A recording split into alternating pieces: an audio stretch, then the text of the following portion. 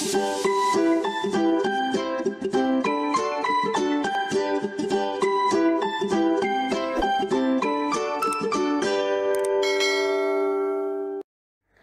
Friends എല്ലാവർക്കും നമസ്കാരം. വളരെ വേഗത്തിലും അതേസമയം എളുപ്പത്തിലും തയ്യാറാക്കാൻ പറ്റുന്ന ഒരു ബ്രേക്ക്ഫാസ്റ്റ് റെസിപ്പിയാണ് ഇന്ന് നമ്മൾ ട്രൈ ചെയ്യാൻ പോകുന്നത്. ഫ്രഞ്ച് ടോസ്റ്റ് അഥവാ ബോംബെ ടോസ്റ്റ് ഇത് ബ്രേക്ക്ഫാസ്റ്റ് മാത്രമായിട്ടല്ല ഈവനിങ് സ്നാക്കായിട്ടും നമുക്ക് സെർവ് ചെയ്യാവുന്നതാണ്. വളരെ കുറച്ച് ഇൻഗ്രീഡിയൻസ് മാത്രമേ ഇതിനാവശ്യമുള്ളൂ. ഇതിനുള്ള ഇൻഗ്രീഡിയൻസ് എന്തെല്ലാമെന്ന് നോക്കാം.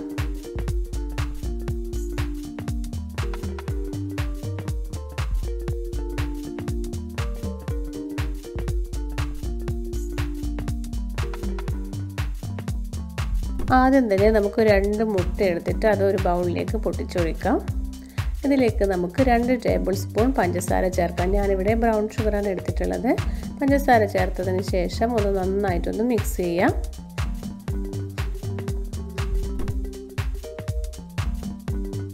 ആയിട്ട് മിക്സ് ചെയ്തതിന് ശേഷം ഇനി ഇതിലേക്ക് നമുക്ക് കുറച്ച് പാൽ ചേർക്കാം. കാൽ കപ്പ് പാലാണ് എടുത്തിട്ടുള്ളത്.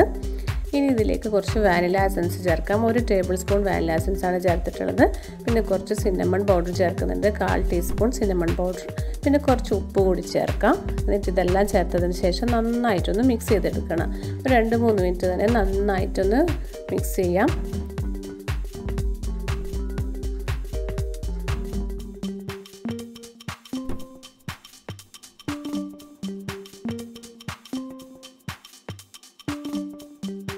എല്ലാം നന്നായിട്ട് മിക്സാക്കി എടുത്തിട്ടുണ്ട്.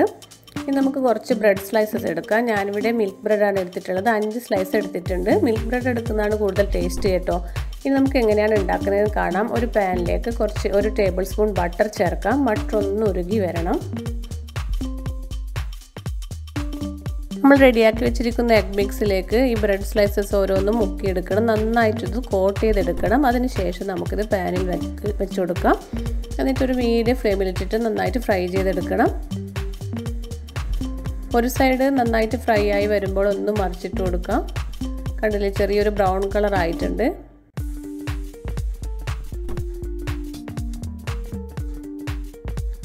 ഇപ്പോൾ രണ്ട് സൈഡ് നന്നായിട്ട് കുക്കായി വന്നിട്ടുണ്ട്. ഇനി നമുക്ക് പാനിൽ നിന്ന് മാറ്റാം.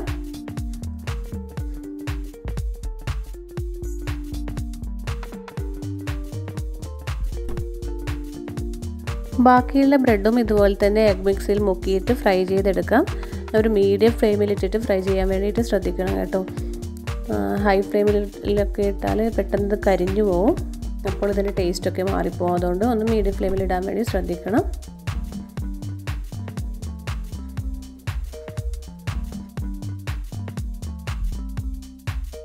വളരെ ടേസ്റ്റി ആയിട്ടുള്ള പെട്ടെന്ന് ഉണ്ടാക്കാൻ പറ്റുന്ന ഫ്രഞ്ച് ടോസ്റ്റ് ഇവിടെ റെഡി ആയിട്ടുണ്ട്. കുട്ടികൾക്കൊക്കെ സ്കൂളിൽ കൊടുത്തേക്കാൻ പറ്റുന്ന നല്ലൊരു റെസിപ്പിയാണ് ഇത് നമുക്ക് ഈവനിങ് സ്നാക്കായിട്ട് സെർവ് ചെയ്യാവുന്നതാണ്. അപ്പോൾ എല്ലാവരും ഇതൊന്ന് ട്രൈ ചെയ്ത് നോക്കണം കേട്ടോ.